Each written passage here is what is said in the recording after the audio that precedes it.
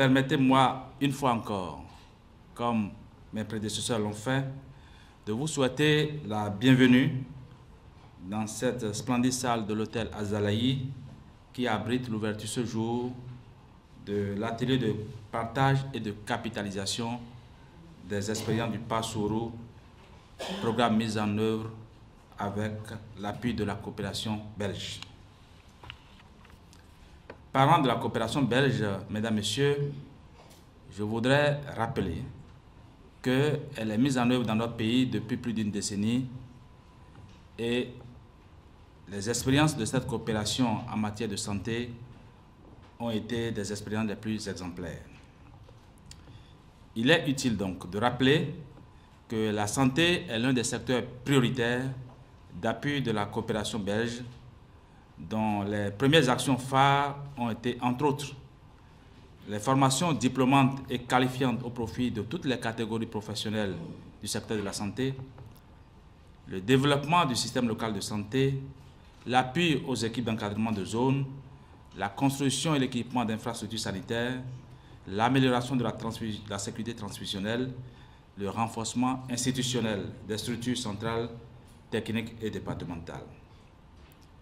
Les succès enregistrés et les leçons apprises ont amené les deux parties à évoluer vers un appui programme.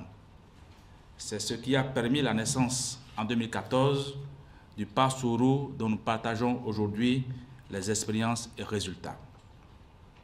Ce programme a accompagné les cinq domaines stratégiques du Plan national de développement sanitaire.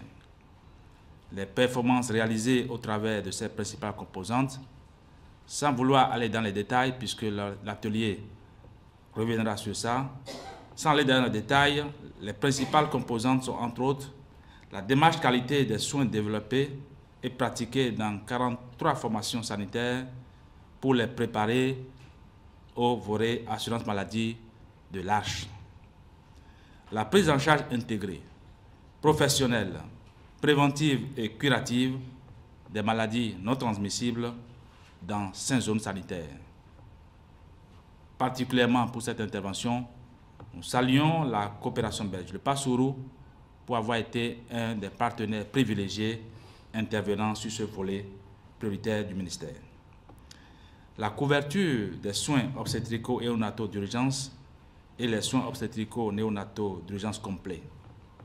L'amélioration du système de référence et de contre-référence, avec entre autres la mise à disposition du ministère de la Santé au profit des zones sanitaires bénéficiaires de 10 ambulances médicalisées la promotion des cadres de redevabilité, notamment les puces, dont les expériences sont capitalisées à travers le projet de gestion des plaintes des usagers initié par le ministère de la Santé et qui fonctionne actuellement.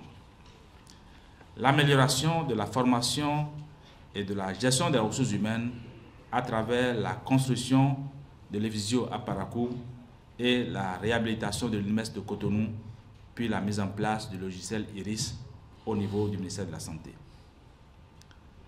Cette occasion ne me permettra pas de lister toutes les réalisations de ce programme, mais je saisis cette occasion pour remercier la coopération belge pour avoir accompagné le ministère de la Santé dans l'atteinte de ces objectifs. Je voudrais remercier également tous les collègues, tous les parties prenantes qui ont permis la mise en œuvre efficace de ce projet. En cette occasion, je remercie particulièrement l'ancien coordonnateur du programme, le docteur Dramé, qui est ici parmi nous, mais également les préfets des départements bénéficiaires qui, à chaque minute, à chaque phase de la mise en œuvre de ce projet, ont été présents pour leur contribution efficace à la bonne mise en œuvre.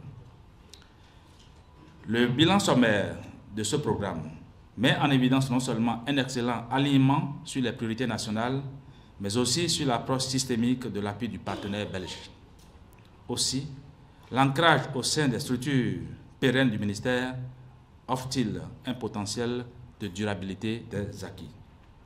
Les présentes assises auxquelles vous êtes confiés permettront, entre autres, de vous approprier les principales actions et performances atteintes, analyser les stratégies et expériences développées, appréhender les défis pour le secteur et synthétiser les acquis pertinents à pérenniser.